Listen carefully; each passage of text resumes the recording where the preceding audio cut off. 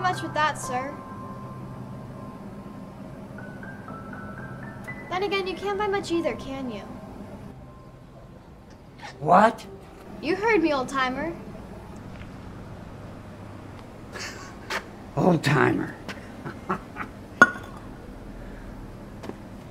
I'll have you know I'm in the prime of my life. I'm sharp as a whip. Doesn't take a spring chicken to teach a brat like you a lesson. A lesson in what? Money management?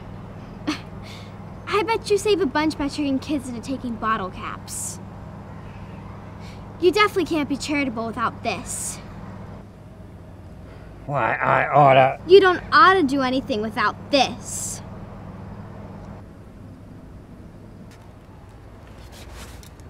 You're good, kid. Takes a lot of guts to pull what you just pulled. It's easy when you know it's gonna happen. Know what's gonna happen? What, can you see the future or something? Yeah. what now?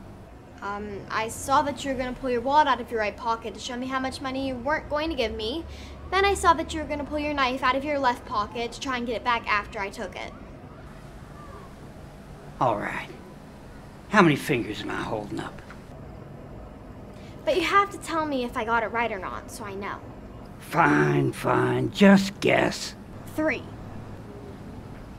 All right, good guess. Try again.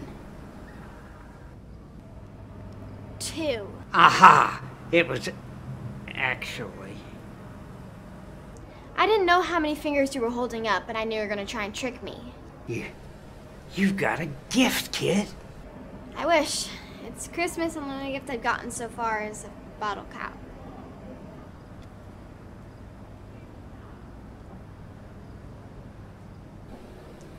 I tell you what, kid. How about you let old Sandy Carl help you round up some Christmas cheer, eh?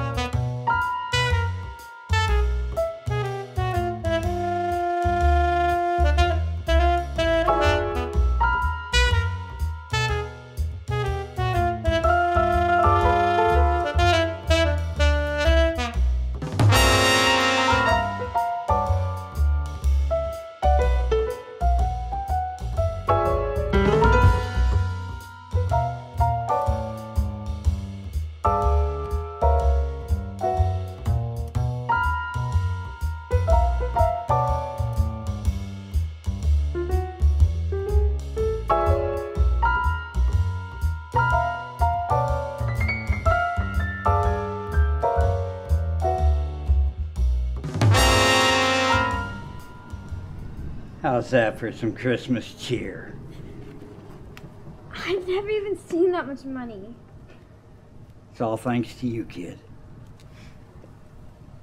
Here's your cut. Now go get yourself something nice.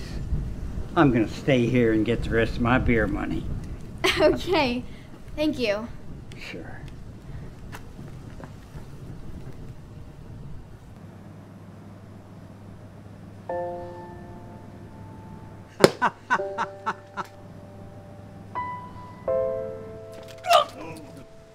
Oh no, Carl!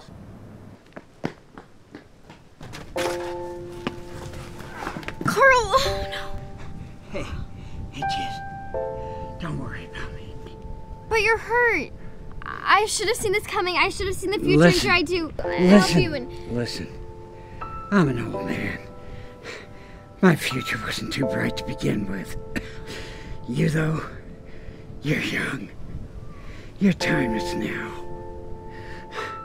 You take that gift and you live in the present. Will you do that for me?